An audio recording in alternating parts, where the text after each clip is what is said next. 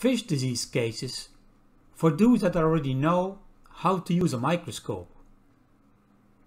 You will see examinations of diseased fish for your training of diagnosis and treatment.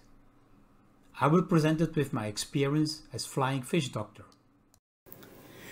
With my 43 years of experience, I will try to help you to become a little expert in fish disease. In our daily practice as a fish doctor and consultant, we come across many different kinds of problems. Some cases we can solve with our naked eyes, but in most cases we need a microscope.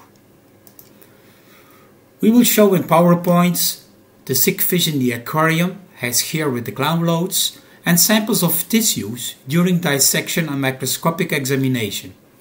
In most cases, we can recommend treatment. Here is a simple case of a diseased platy.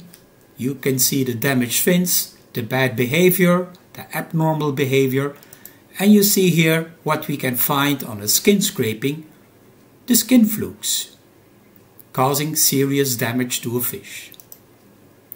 So I hope you can try to become a good fish keeper by solving your problems with diseased fish.